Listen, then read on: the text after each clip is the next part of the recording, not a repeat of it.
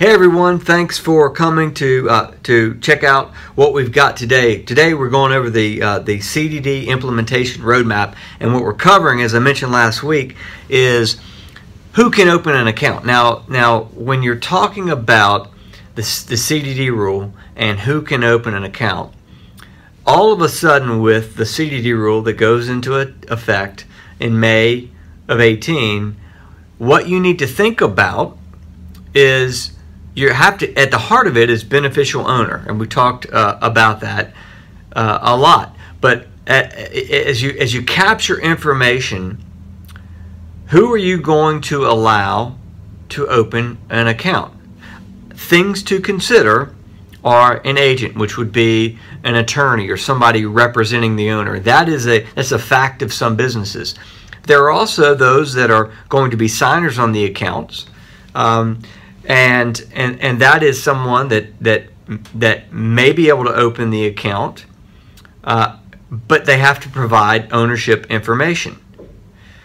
Uh, you you don't want to you don't want to use signers on an account as beneficial owner information. So you may have somebody that owns a company that may not be a signer, and you may have somebody that's a signer on an account that's not an owner.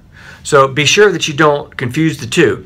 One of the most important things is, is to keep in mind as you clarify who can open an account, that does not take uh, that does not take um, a misplace or take the place of a step that's required for beneficial ownership.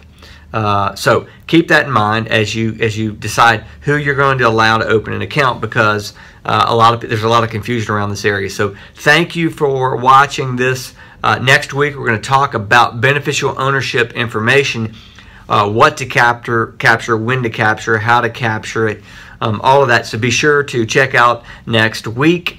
Uh, we're continuing to post uh, to the roadmap. So thank you for staying tuned. Keep checking for updates. On LinkedIn, we post them as an update number. So if you have missed some of the old updates, you just click on the hot link on the, the roadmap and all of the content is there for you to continue to reference as we continue to move forward through the roadmap. So thanks for watching. Hopefully you found this to be helpful. Chat next week.